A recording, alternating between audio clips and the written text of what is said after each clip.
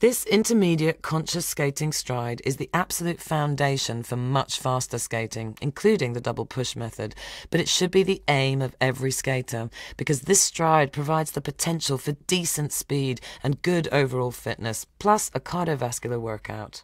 There are still two parts to this skating stride, the push and the glide. They are of equal tempo. The support knee remains in the same deeply bent position throughout the push and the glide. Notice the knee over toe position from the side. It does not change in this position. If you can observe videos of yourself training, you will then be able to consciously refine your focus on feeling and moving specific parts of your body. Being able to accurately observe what is happening with your skating is a valuable skill, which then facilitates the making of conscious decisions based on your increased self and technical awareness from putting in the time doing the exercises. The physics, dynamics, and forces acting upon your body when skating are so complex that only by separating things out and practicing them in isolation can we then hope to integrate them fluidly into our stride. Here is where you see if your time spent doing the exercises has had any kind of change or benefit, even if tiny. Applaud even small changes as they are signs of progress and therefore motivation to continue to practice.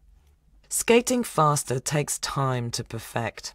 I would rather you focused on feeling relaxed and safe while skating faster, rather than aiming only for high speed. Many skaters just push and push and push with powerful strokes, but they do not have the knee bend or control to glide safely and steer their skate. This push, push, push skating is risky because it's often accompanied with a V-ing regroup which produces acceleration. High speeds plus acceleration isn't a good idea for most skaters. The aim of skating faster is now to gain higher speeds and maintain that speed over a length of time, i.e. without accelerating anymore. This is sustainable and safe skating, where you feel in control of everything that's happening, the power of the push, the glide and its edge, the tempo and the regroup.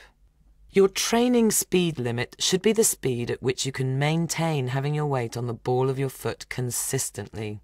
At the speed where you notice your weight shift off the ball of your foot, you are now going too fast to train well. If you can't feel your weight on the ball of your support foot as you push to the side, you should slow down. Can you identify the moment when your weight shifts from the ball of the foot to the midfoot? This is very subtle, but you need to become more and more aware of this. Tension in the body from higher speeds results in micro straightening of the knee, which sends your weight slightly backwards on your skate. You may never have noticed this tension or felt it as such, but with your focus and attention on the balls of your feet, you should become conversant with this language of feeling through the soles of your feet. This is exactly what I do in private lessons and group classes. I constantly and continuously remind my students can you feel your weight on the balls of your feet? Has the weight moved? Is it obvious? Can you make it heavier on the ball of the foot so it is more obvious? Imagine I'm asking you these questions while you're skating and I'm whispering them in your ears.